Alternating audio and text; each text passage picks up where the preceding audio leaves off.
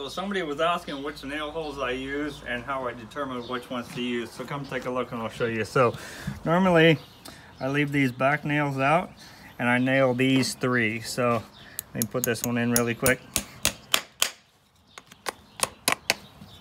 Okay, so I try not to nail past the widest point of the foot or past the halfway point of the foot. So if I have footfall on either side here that doesn't have a lot of integrity or that's weak, then I can also put one in the heel, but definitely not my first choice. So you're gonna wanna use uh, whatever nail holes are necessary to actually hold it on. And if you look at these nails, these three have a different head on them than this one because I want these to uh, provide a little more traction for this horse, but I don't want them sticking in the toe. So I have a different nail here than I do here. So this horse is gonna run with seven nails.